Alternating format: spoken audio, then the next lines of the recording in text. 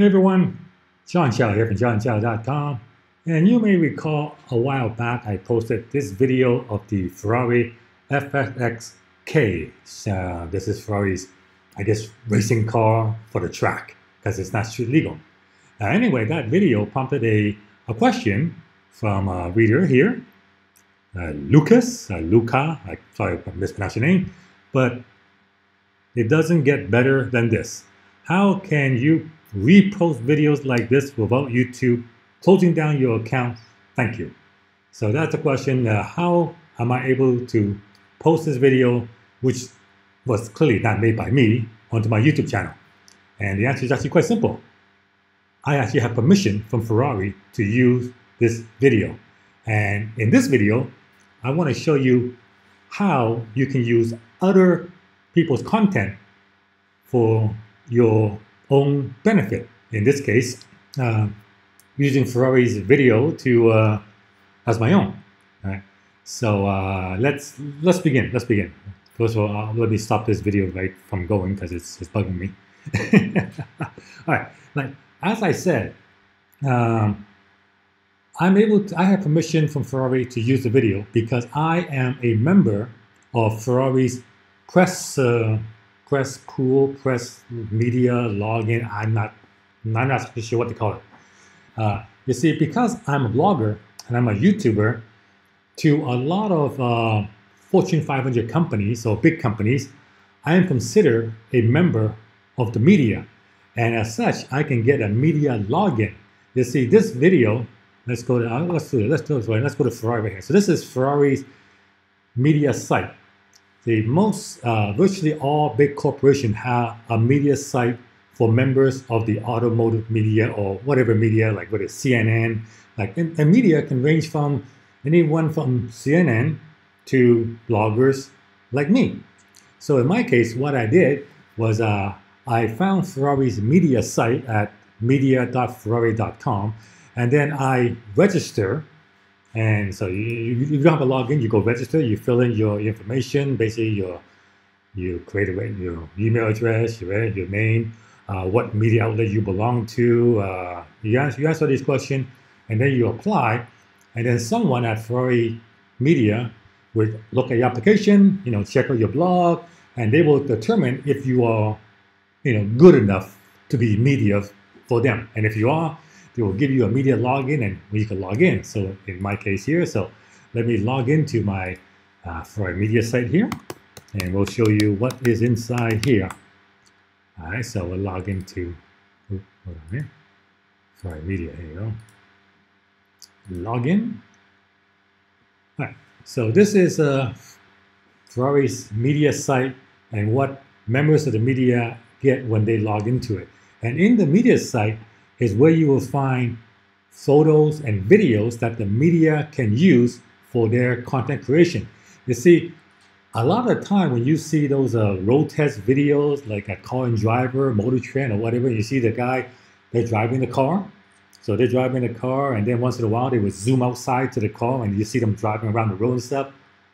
Oftentimes the shot of them, the shot of the car outside zooming around the canyon roads or whatever was not done by the review company, was not done by Car and Driver, was not done by Motor Trend. It was actually, those shots were actually supplied by the manufacturer, or in this case, Ferrari.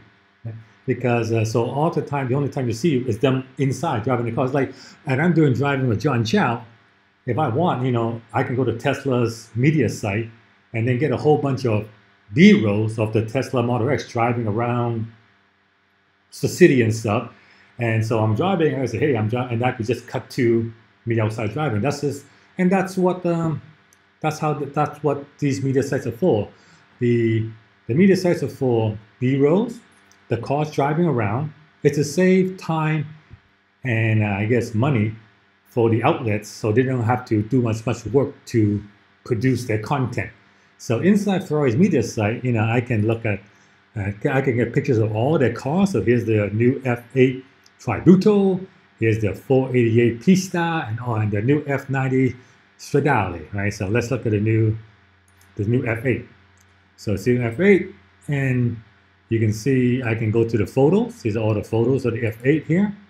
And these are all media photos that I can download. See, this is down. I can download any of these photos, and I'm allowed. I'm allowed to use it because Ferrari gave me a license to actually use their content because I'm media. I'm media, right? So uh, let's go back again, and I'll show you the. Uh, go back. Yeah. So here's the new F90 Stradale, right? So you see, here's the video. And this is a, and here's a video of the F90 Stradale.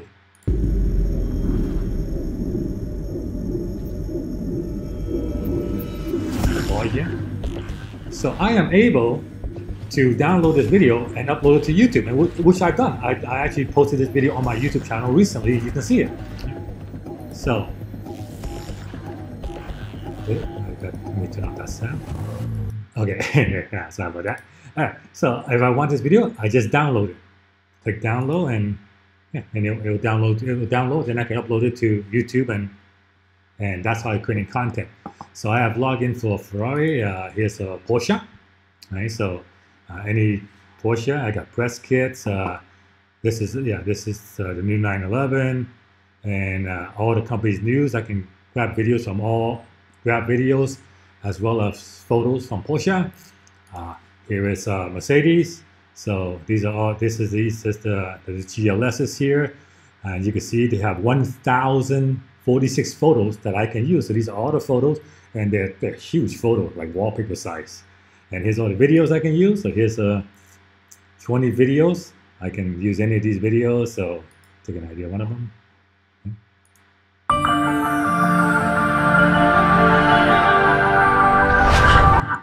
So it's, yeah, cool. And I can search by cars, vehicles. I see here's the AMG lineup here. Cool. So here's the AMG GT. Here's a video. Got all the videos here. So check out the video. So I can download the video if I want. I can play it if I want. I can yeah click download if I want it. So let's see.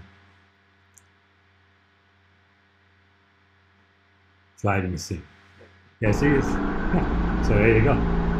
So uh, I yeah, this is a video I can use, and that's kind of cool. A nice green uh, AMG GTR, driving around, nice sound.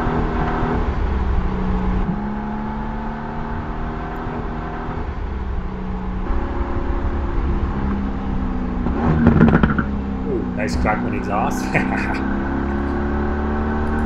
yeah, so that's good. So, so how do you monetize this? Well, one way is to you know do what I did here upload it to uh, upload it to YouTube, and uh, I'm getting views on it, and I have.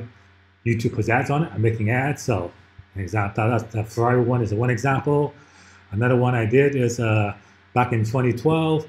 I did this one called the well, I showed the 2012 Mercedes ML 350, all the safety features that the car had, or the car has, and check it out since I upload this video, over 2 million views.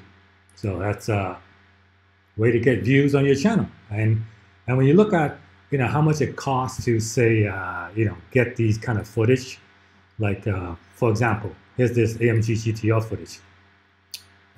This driving around here. I'll me turn on the volume.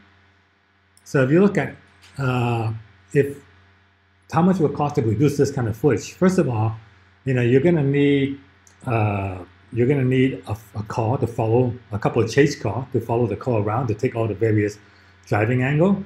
And I know this video also included uh, some drone shots as well because uh, they're doing some overhead shots and stuff. So you need a drone, you need a couple of chase cars, and you need to go through the route, go through the driving route at least two, two or three times. So it's probably an all-day filming for, for Mercedes. This took all day to film.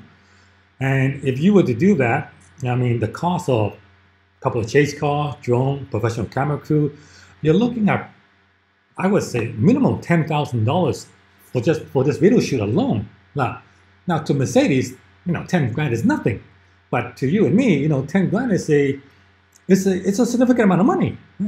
But because I'm a member of Mercedes Media, uh, I get to use this video that Mercedes created, spent all the money. I could use this for free. And so you can imagine uh, this is a great, a great resource that as a blogger, and a YouTuber, you can tap into. You just basically have to be worthy of being considered media. So how do you do that? Well, first of all, I said you need a, a blog that's been around for a while. You need to have the topic. You need to have content on there. You need to basically show that uh, you regularly update your site and therefore you qualify for media login. And once you got that, you have a license to use all this stuff. So let me show you another way to, uh, you can make money from this. Uh, this website here is called Serious Wheels, seriouswheels.com. And as you can see, it's just basically, you know, photos of cars that you can download.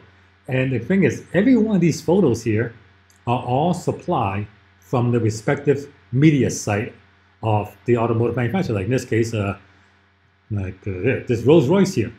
All these photos, they are supplied by Rolls Royce media site. This site did not went out and take these photos. He just basically downloaded from Rolls Royce, uploaded it to his site, and now he's making money from these Google ads. These Google ads. So it's just free content that you don't pay for, that you don't that you're allowed to use, upload to the site, making money from it. So amazing, isn't it? So that that is uh, that is how it's done. So basically, if you have a blog that's been around for a while, and you have good content on it that's relevant to what you want, that's in your niche, like in uh, if you have an automotive blog in this case, you have to have a little blog about, uh, about cars and stuff or specific niche. Uh, you've been around for a while, you've, you, you've regularly updated. You can go to the sites of these companies and apply for the media, apply for media pass. And for the, for the majority of site, how do you how do you find out if they have a media pass? Like how do I find out what Porsche have a media pass? Well, simple. Uh, you go to the footer. Like this, I want the Porsche. Go to the footer, and you'll see in the footer you see media login, or just do a Google search and like for example, uh, you know, example, go uh, Audi, Audi, Audi media site, and the Audi media Audi here go Audi Media Center English, boom, and there you go, and that log you here's Audi's media site. So I get all information on there, and then uh, if I want to use any of the photos, they'll they'll ask me to to log in my Audi my Audi media credential. I go in there, I can download, and I can download all the all, all the videos. I can download all the photos and use them for blog posts, and uh, I can make money on it. And I don't have to hire a professional photographer. I don't have to hire a, uh, a video team to create all this, and I don't have to go rent a car. Right. So there you go, a, a little trick that I use to create to use free content to make money online with it. I hope this helps you out. I hope uh, you get value from this. If you do, give me a thumbs up. Uh, please like and share this video. And uh, if you're brand new here, please subscribe to my channel. This is what I do. I give you tips on how to uh, leverage content to make money online and live the dot-com lifestyle. See you guys next time.